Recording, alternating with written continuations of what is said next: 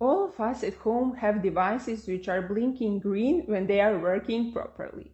But when something is wrong, then they give us red signals and error messages. The same is with our body.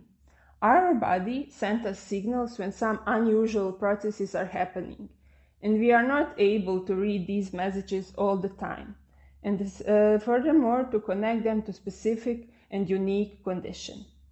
Diagnosing a problem, a disease, is an important step in helping our body to fight against it, especially when we are talking about aggressive diseases such as cancer because there is a need to improve diagnostic tools in clinics so we don't miss the signals. My research is about red alarms of colorectal cancer, cancer that occurs in our guts. Where can I look for these signals? Actually, in our blood. Our blood circulates through all our organs and can show if something is wrong. From blood, we can isolate various proteins, and I'm particularly interested in one of them called haptoglobin. How will I look only into this protein? First, I need a method. Let's say I will create a door, and this door will be specific size, shape, and color.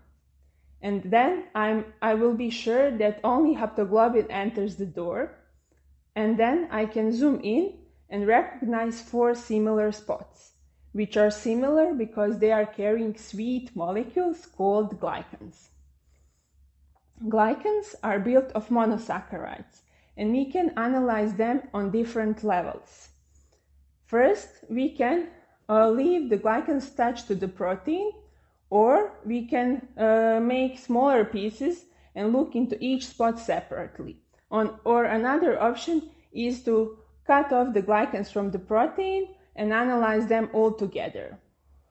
I'm interested to see if, there, if the changes in glycans are similar, similar where people, when people are healthy or diagnosed with colorectal cancer.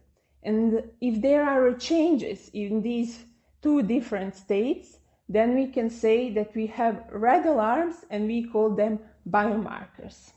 So we can use haptoglobin glycans as biomarkers and they can contribute to diagnosis of colorectal cancer, which will enable patients to react early enough and treat the disease successfully.